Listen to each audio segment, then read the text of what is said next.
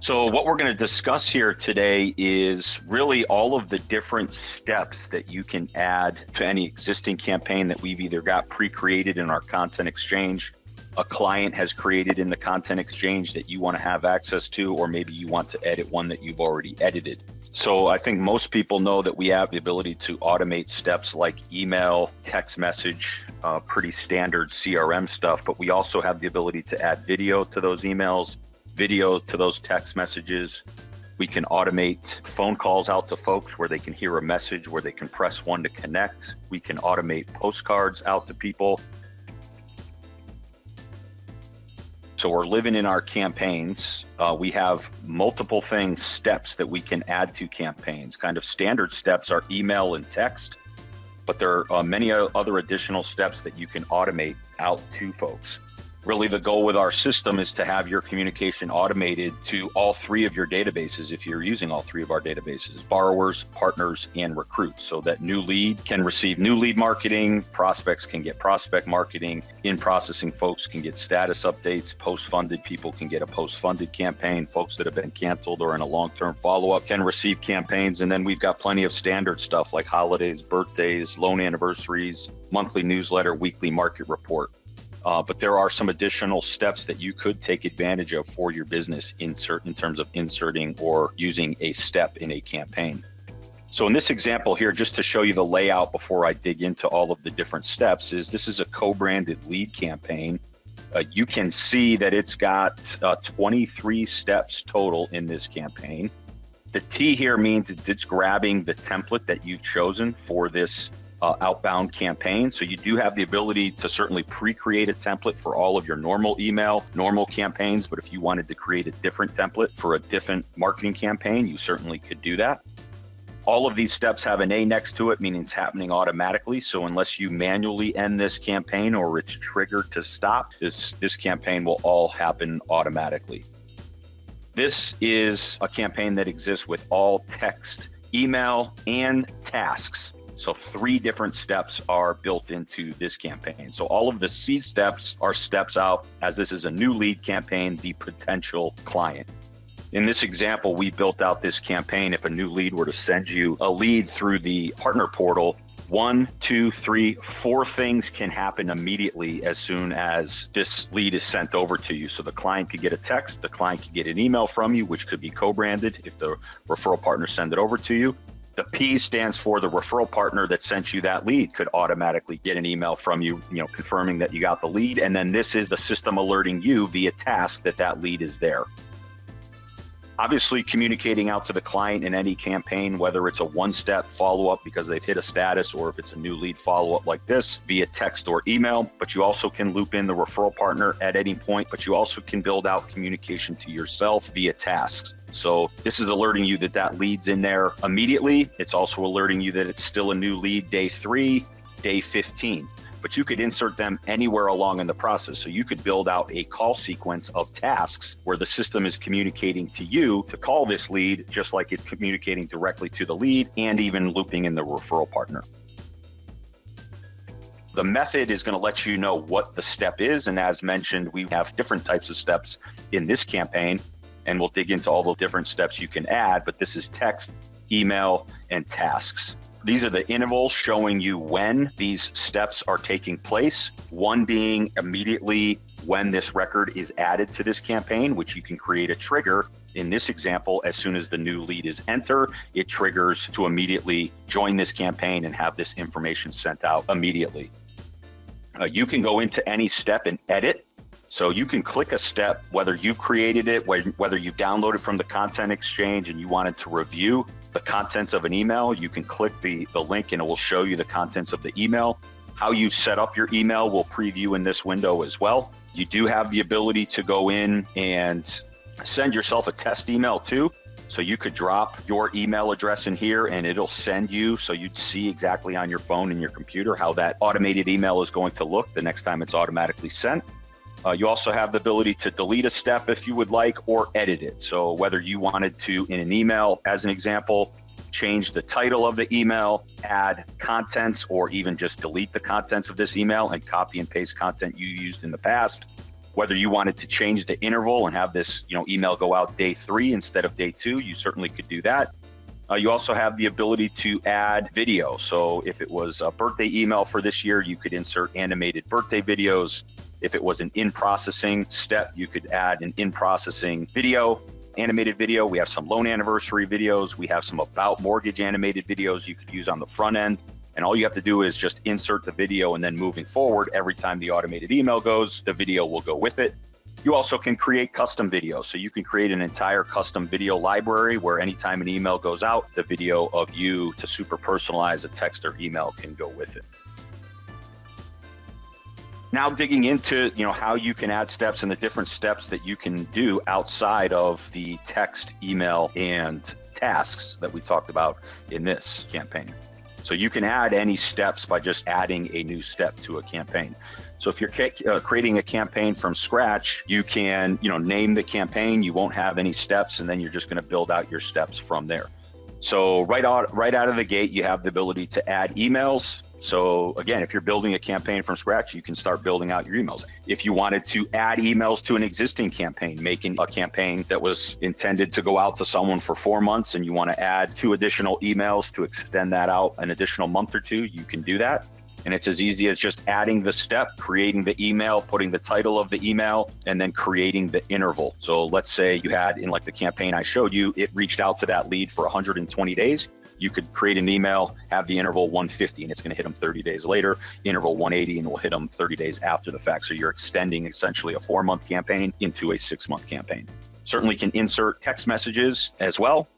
The other key piece of sending text through our system, we use a system called BNTouch Voice, which allows you to select a number and then automate text, send group text, send text from the app, send text from the system, and it tracks all of that text within the record. But it also allows you to leave a pre recorded message from that same number. So, how that is often used is let's say you are purchasing leads. Lead is integrated with our system. Lead posts into your database as a new lead. They could immediately get a text from you saying, Hey, this is Henry. You had just reached out about interest in refinancing, whatever you're saying in that text. You could then create an interval where a call goes out 15, 20 minutes later, where from that same BNTouch voice number, they receive a message. Hey, just shot you a text after you had inquired about a refinance. Feel free to reach out if I can answer any questions. It will then prompt them to press one to connect with you. And so whether they um, press the, the text message they got to call you back or they press to connect with you on a pre-recorded call, it's going to automatically ring whatever number you set it up to call forward to so that that will seamlessly connect with you if they press one to connect with you or if they return a text phone call. And if you have multiple users and users own different records, you can set up different call forwarding numbers for both the outbound text and the pre-recorded messages. A couple of the other things that are a few of these other steps that you can add is you do have the ability to push that data out to print, print a label, print, label, or print and label. As an example of that is, you know, maybe a lead ran its course or got to a certain point. All of the data could be printed out as a label and as a letter to then mail them something. We do also have the ability to send postcards for you. So you're not limited to our library, but we do have a library of cards. This is an additional cost, this mail. But just to show you real quick, I'm going to go into more under marketing and I'm going to go to mail. We've got a library of postcards from birthday cards to tax day to Mother's Day, really every holiday, refinance cards, loan anniversary cards. And you can see there's two of everyone because we can send either a regular size card for you, which we charge you 65 cents, or we can send a jumbo size card, which costs 99 cents you have the ability to automate that step. If, let's say, you wanted to send everyone a Christmas card this year, you could do that. We can obviously personalize the other side of that card. We could put your picture on that card. Our team can help you with that as well. You're not limited to our library either, as you could import an image of a card you've used in the past to, to create any type of card that you would like. Steps that can also be automated. You could export address lists to a CSV file if you needed to export them out. We both have XML posts and URL posts as well. Um, an example of that would be so we have clients that use a product called Sales Boomerang, which can give alerts back to people that you have funded. And so they're working out of that database. Really, the record just lives in that database until they're alerted of something. And so what our clients can do is use our system to market to that new lead, however they got it, they move the prospects in processing, application, post funded. And so as soon as they get to funded in our system, we can then post that record as an example to Sales Boomerang automatically so that you wouldn't have to create a new file or export that file out of our system into theirs. That's just one example. We do also use or can integrate with Zapier to post records in and out of our system as well for some more of the advanced things. And I know we have plenty of clients that are doing that as well. The word gen is similar to pushing data to a, a print to letter. Update field, let's say we'll use that new lead follow up marketing piece as an example. So they're in your database as a lead and they're getting emails, texts, emails, texts. You're trying to call them. The system's reaching out. They're never responsive. And then the four month new campaign runs its course.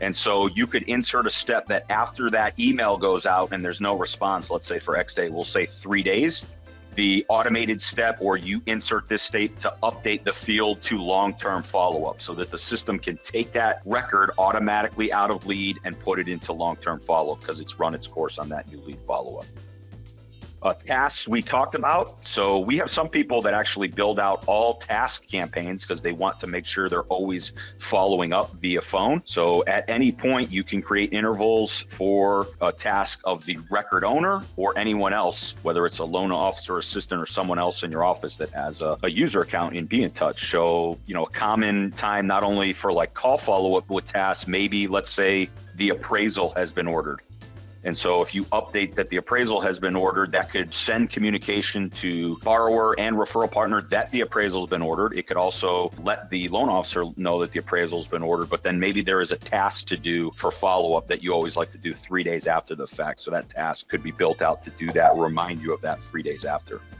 The last two things here in terms of automated steps are the ability to request documents. So at any point, uh, common point is when an application can get complete, uh, we can send out a request for docs. And then we also have a proprietary e-sign tool where we have the ability to request an e-sign for any document. So all of that can be automated as a step in a campaign.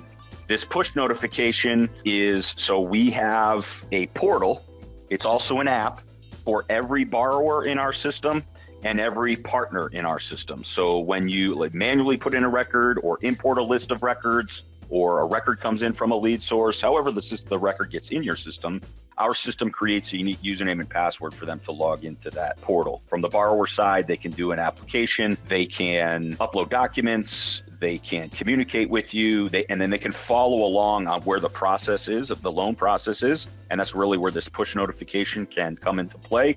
So if you've updated in the status that, let's say, their loan has been approved, and you can even do that from five LOS systems where you update the LOS, it updates and BNTouch, can send the record an email and a text that let, let's say their loan's been approved, but you also could create a push notification so that if you have a lot of clients that are using the app, they can get a push notification on any alert on top of an email and text, really having the ability to over communicate to any of your records. And, and then partners get a app as well, so they could get updates on all of the business they've sent you. And again, if you're using the app, you could set up push notifications. So just like, you know, bouncing back to that new co-branded lead campaign, referral partner is sending you that lead through the app, which he can, and that's really what this campaign was built out. He opens up the app, sends you a lead, lead drops into your system, client gets a text, client gets an email, referral partner gets an email, you get alerted that that lead's in there. That's all happening at once. You can even take it a step further and co-brand that email, but you could insert if you knew that partner was sending you leads through the app, you could send them a push notification to alerting you that you got the lead as well. So multiple ways that you can communicate using that portal. And that's really all of the different steps that we can add.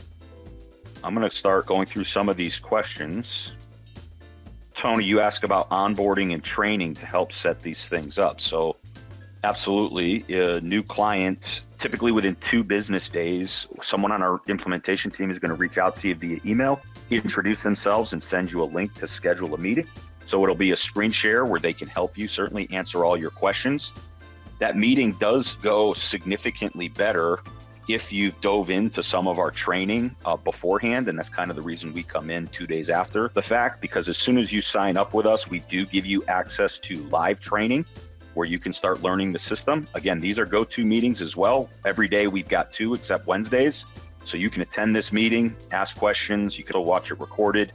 We also have some initial training videos to help you with setup. We have a detailed user manual where we really have a how to with screenshot and words to walk you through every process. So, like our pick a search, which is our ability to search against any data field, save that search as a report, have that report emailed to you weekly, quarterly, monthly. And so, this is a screenshot walking you through how you can do a search and then words explaining how you do it. And then at the bottom, it's got a video that walks you through that. So, that's another resource. And we've got resource videos, walkthrough on how to edit campaigns and add all of the steps I just talked about.